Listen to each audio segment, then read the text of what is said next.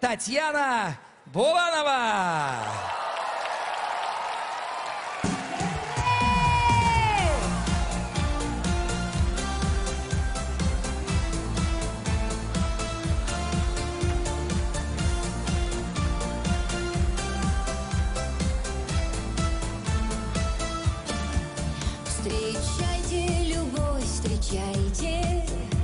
Когда весна случайно в дом зайдет.